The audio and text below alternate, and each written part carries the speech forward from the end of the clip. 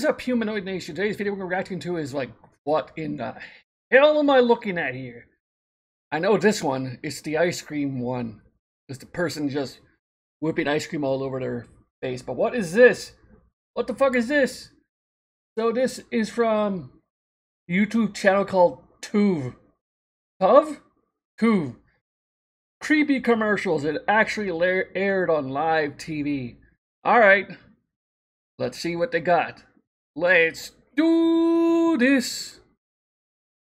Commercials and PSAs are meant to get a message or point across to the audience. For the most part, that's exactly what Oh god, this thing. Uh, still creepy as hell. Some companies take this a Baby's ice cream, that's what it was called. Shock value. Sometimes the company doesn't even know they're making the viewer uncomfortable. But then again, that seems to be the method for every safety PSA. Growing up, perhaps we were scarred or left questioning what we had just watched. In today's video, We had Disney where they did not give a fuck back then. Great Mouse Detective, Lion King, Bambi. Damn, we had we had it good back then.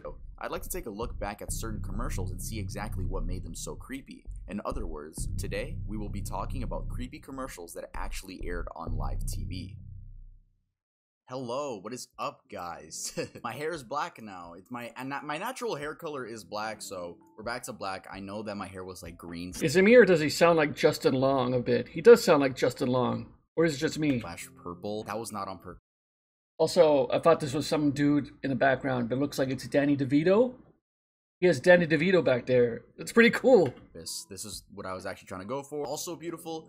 Make sure to follow me on Instagram. My goal is 30,000 followers by the end of the year. And My I name is Tuve. posted a hyperpop song snippet, which it's over there on my highlights. So if you want to go hear me sing, uh, go over to my Instagram and check the highlight out. And Oh, they gotta check sure 'em to out. Check out my second channel where I'm uploading a video that inspired this video. That's right, I inspired myself. It's a video from 2017 that I actually deleted. Well, It's we all inspire ourselves sometimes. And it's if you want to go watch a 15 year old version of me talk about almost the same thing but less experienced with commentary. Make sure to go watch that after this video. So the way this video is going to work is i'm going to be explaining what happens in the commercial and then i'm going to give you guys some context behind it. All right without further ado sit back relax grab grab a glass of water and hydrate yourself and let's get started with the video. Already, ha- already ahead of you. Japanese kleenex commercial 1986. It's a fine day, people. The infamous Kleenex commercial depicts a woman and a baby sitting on a bed of straw with a dark red background. The woman wears a long white Where's Where's the baby? What? A woman and a baby? a woman and a baby sitting on a bed of straw. Oh, that's the baby. I thought that was a giant troll doll. Okay, all right. Straw with a dark red background. The woman wears a long white dress and looks perfectly normal. The baby, however, has been painted the same red as the background and wears a green wig with a horn sticking out of the top. The baby keeps their arms crossed and seems disinterested when the woman pulls a tissue from the box. She then lets it float away in the wind. A high voice sings along to an eerie tune in the background. This commercial was super difficult to find information on, but I did find some articles but what I'm about to read, take it with a grain of salt. They claimed that many Japanese viewers complained about the ad being too disturbing, which led to Kleenex taking it off the air. There's also rumors that anyone who watches That's disturbing. A baby going like this, not saying a thing. That's kind of mild, isn't it, for Japan commercial? Because you know Japan can be crazy with their commercials, but that's a little bit mild. this commercial is automatically cursed. So uh yeah, I just cursed everyone that watched this video. That was a I really curse. hope you guys don't believe in video curses. Like that's so stupid. There was also another rumor that the entire cast shortly died after the Well, that's not fun. Uh, commercial, which no. The actress is still alive and well and is named Keiko Matsuzaka. As for the rest of the crew, well, honestly, they could probably be dead by now. I mean, the commercial is pretty old, but I 1986, doubt yeah. because they were cursed. The song played in the Old commercial age. is "It's a Fine Day" by Jane, and is actually a really good song. I love the singer's vocals, and the music video slash song are about women becoming widows due to their husbands dying in the war. I looked it up on Spotify and found a bunch of club remixes. Yo, I'm not gonna lie, those are really good as well. Club remixes, huh? Smokey Okay. the Bear, 1973. 1973. Only So you, next time you're in the forest, only you can prevent forest fires. I think they showed this in like the 90s as well. Some reruns, or am I forgetting about the cartoon? be extra careful, okay? Yo, what the I hell? knew it was me. Would you have listened? Smokey the Bear is an advertising character created by the Ad Council and the U.S. Forest Service to raise awareness against human caused wildfires. Starting in 1944, Smokey's campaign Look, kids, Lunch. has been the longest running public service campaign in American history. Over the years, the campaign has fed some questionable ads, especially this infamous one from 1973. Actress Joanna Cassidy looks at the camera seductively as the camera Yeah, I was- closer to her. I thought I was seeing this shit. and how we Like, she is seductively looking at the camera. forest. Suddenly, her face turns into a mask, and it is revealed that Smokey was actually Cassidy all along and asks Bro, Tubbs definitely sounds like Justin Long.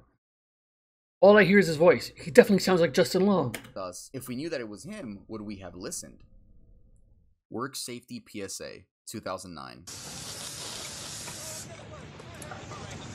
I'm working overtime because I want to take my family on a nice vacation. He dies, This doesn't commercial he? shows a man talking about his family and then explains that they will soon be getting a call which says that he was killed in a work Oh, accident. yeah. Something blows up and sends him flying off the roof. I'm blurring it just to be safe. Ah, You can damn. see his body ragdoll through the blur. And I'm not gonna lie, I was laughing so hard when I saw this commercial. It's just like, why did the directors make his body hit the truck and then hit the ground? Hold on. Work safety PSA. I need to see this. Work safety PSA. The PSA 2009. Because I want to see what happens here. 32. I'm working overtime because I want to take my family on a nice vacation. Soon they get a call telling them I was killed in an accident. Is this a Canadian But hey, commercial? I'm wearing a busted harness here. And the company should have checked those tanks to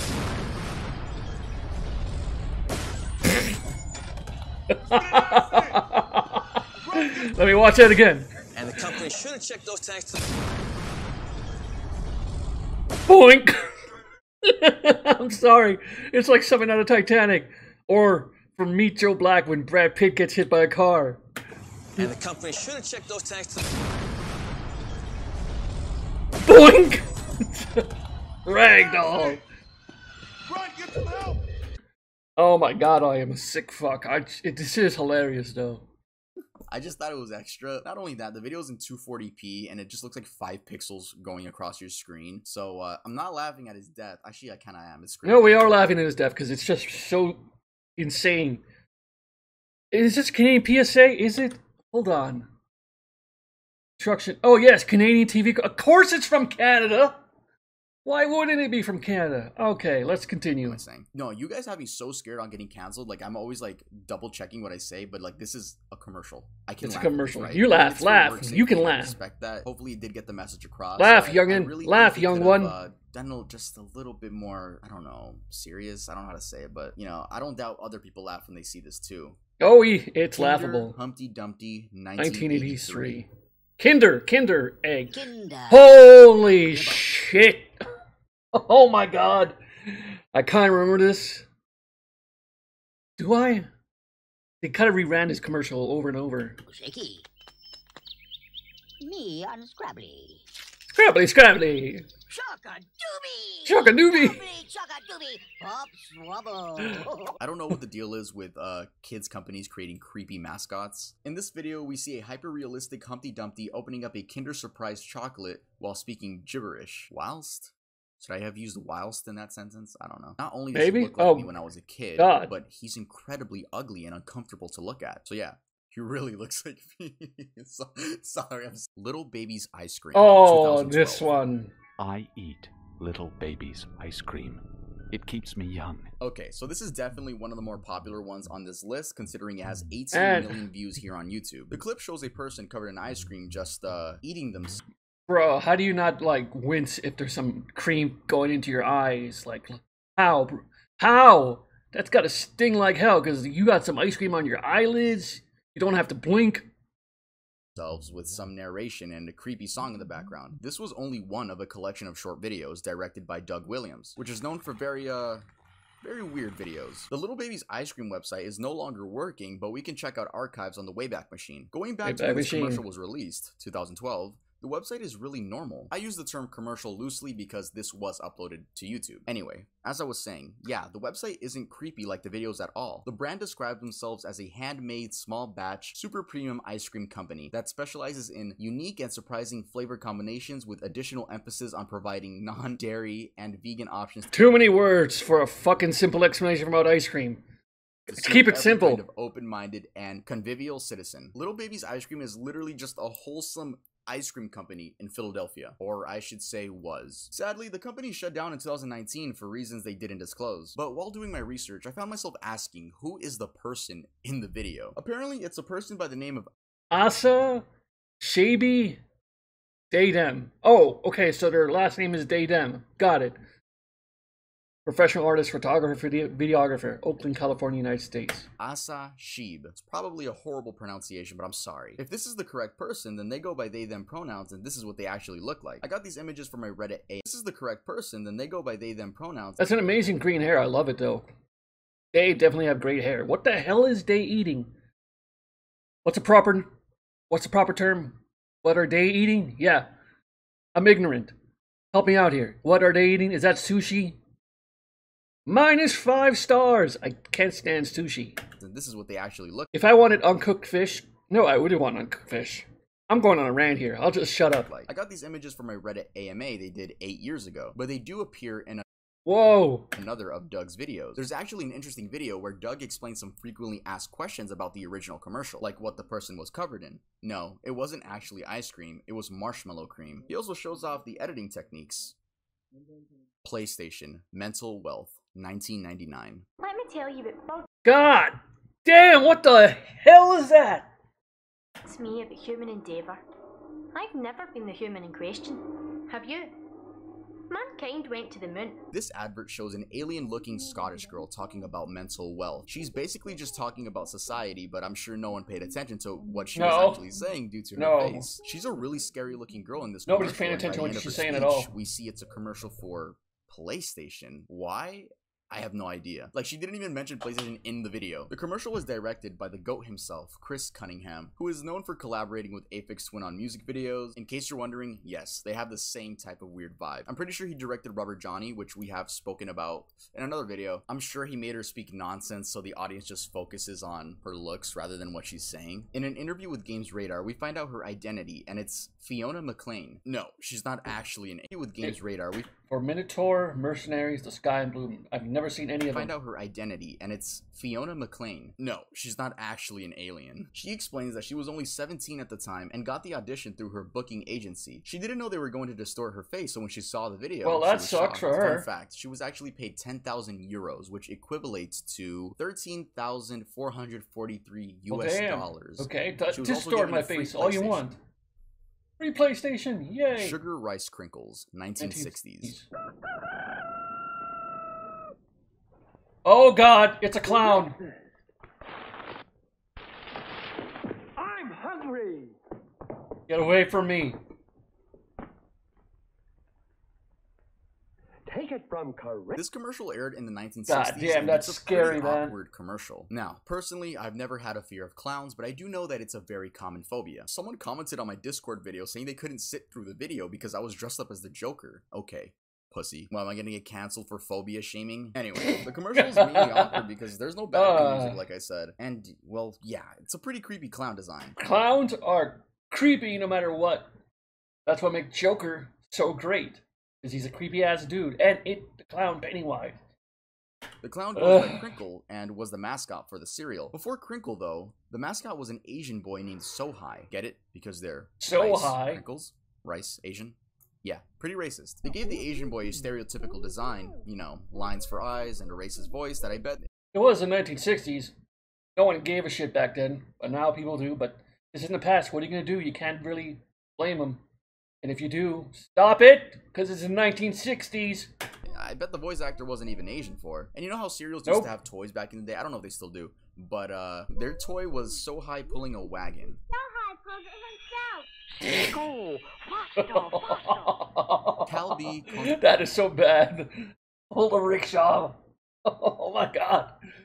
Calbee Consume Panchi commercials 2007 to Consume 2013. Panchi commercials 2007 to 2013. Oh, this one.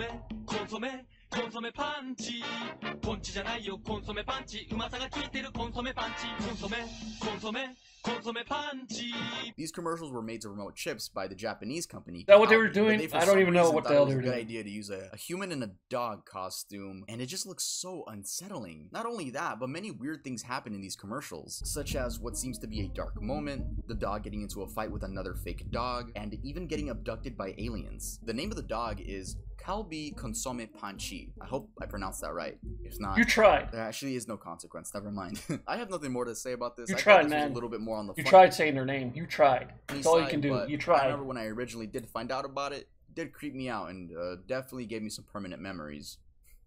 Sunday Lunch 2006. Okay, so I don't know how much of this commercial I can even show on screen, even though it is scripted violence, which is okay on YouTube, but I really don't want to deal with a YouTube employee reviewing my video because in case you guys don't know especially if you upload morbid content sometimes youtube detects your video to have something bad in it which leads you to need a human review to make sure you can put ads on your videos which is so annoying but yeah i just don't want to do that so i'll do my best to describe it with screenshots from the video we start off with a family based in the uk gathering around You know what? I'm gonna look this up. Sunday light. Sunday lunch. Let's do this.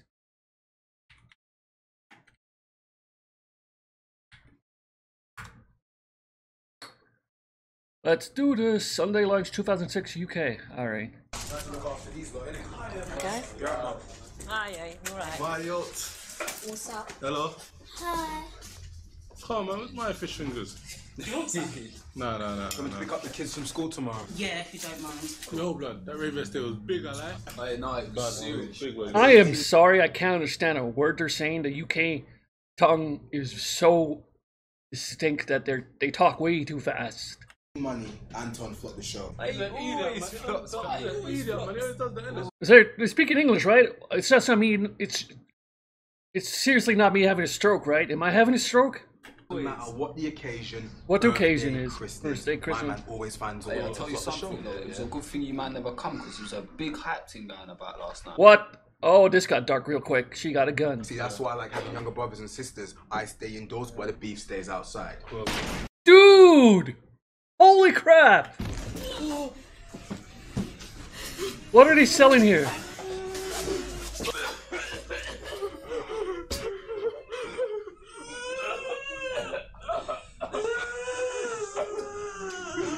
Of like pulling the trigger, so. All crime stars only. uh, Okay. So, alright, UK, you don't play around. You do not play around. Good to know. Around for lunch. Everything is normal and the young adults are talking about their days until the camera shows the mother grabbing a pistol, pointing it at her son, and pulling the trigger. Yeah, she shoots her like seven year old son in the head. The family freaks out and she begins crying as this text appears on the screen. Keep in mind, you can hear them all crying as this text appears. Well, You keep yeah. quiet about gun crime. It's like pulling the trigger yourself. The commercial was a PSA for UK gun violence, and we're gonna see a common pattern when we talk about PSAs because they really like using shock value to get the message across. Don't drink and drive. Jacqueline Saborido, I was gonna say is this Canadian, but no, it's probably from Japan somewhere. 2008. My name Never is mind. Jacqueline Saborido.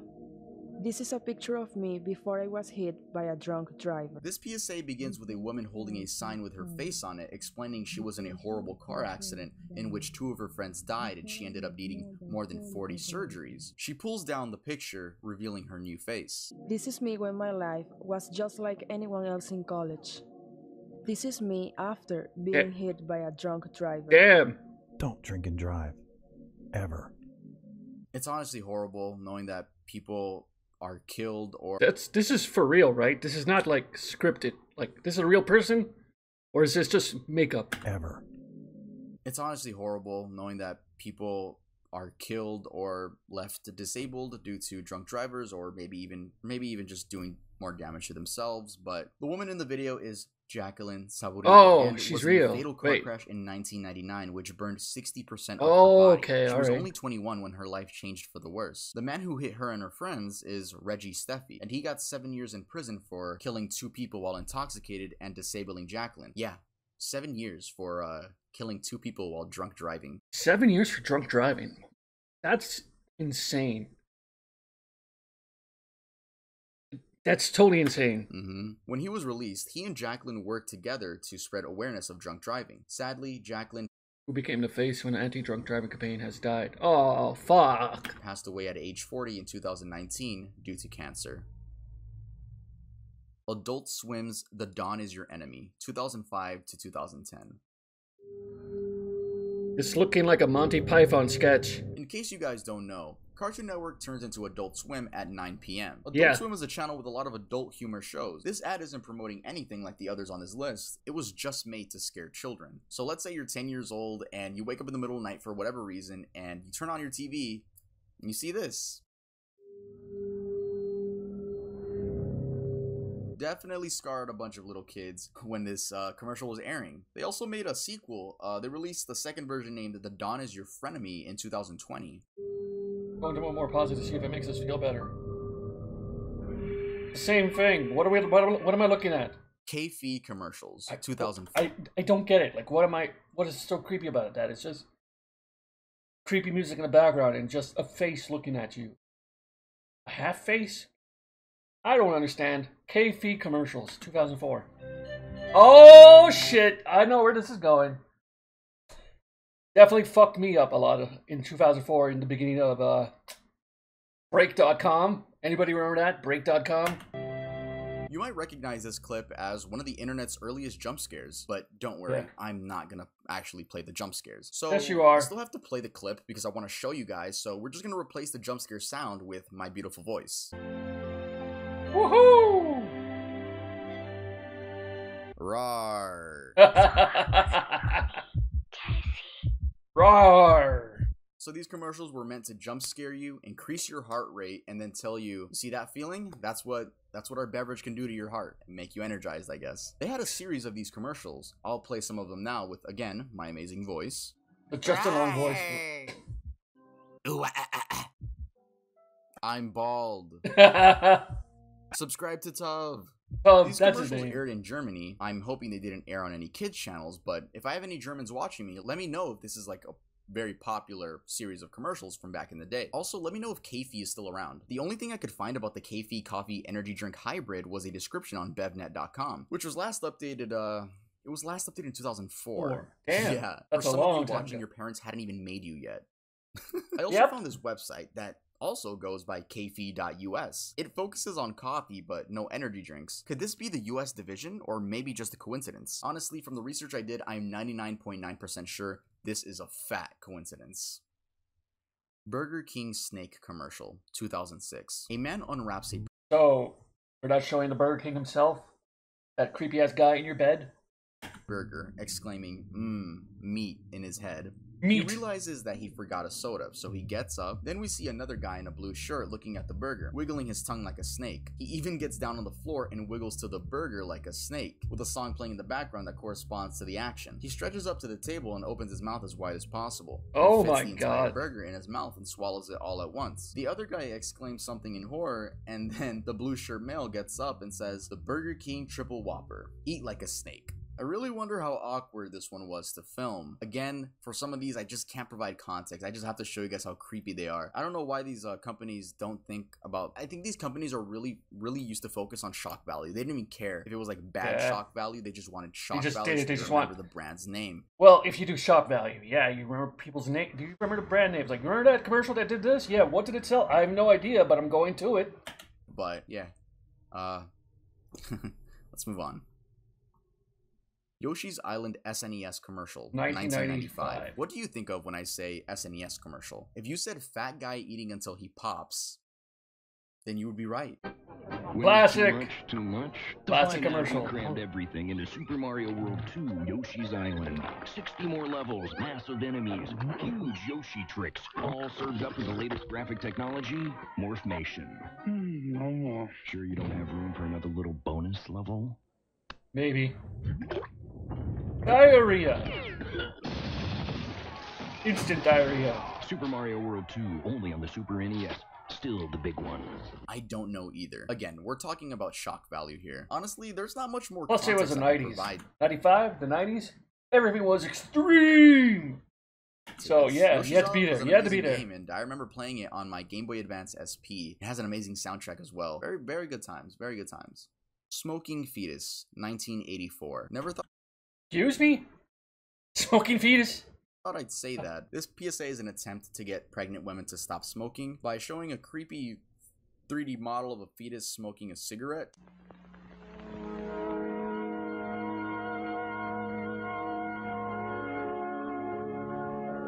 Mmm, that's some good Marlboros. Would you give a cigarette to your unborn child? You do. Every time you smoke while you're pregnant. Pregnant mothers, please, don't smoke.